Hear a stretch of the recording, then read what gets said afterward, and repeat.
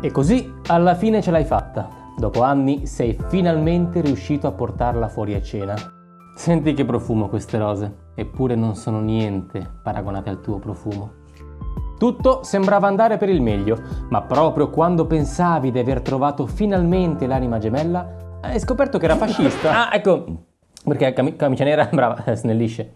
Ti senti smarrito, non sai bene cosa fare, perché la dea a cui stai facendo il piedino da 45 minuti buoni ha iniziato a salutare i camerati tendendo il braccio e senti che le vostre anime non vibrano più alla stessa frequenza.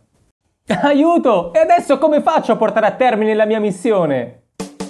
Il canale di Gross presenta 10 frasi da non dire per rimorchiare una fascista. Guarda, tu per me saresti sempre libera di fare quello che voglio io. Che ci vuoi fare? Sono un romantico. Ma hai un manganello in tasca o sei contenta di vedermi? Manganello? Quindi non sei un trans.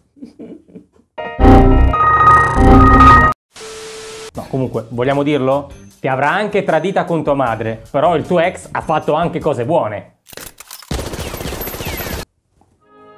Questa è casa mia. Ah, carino il soprammobile a forma di busto di The Rock. E per me i carciofi alla Giudea. Ma mi stai facendo il piedino o- il saluto romano con la gamba? Senti, ma posso bonificare la tua palude?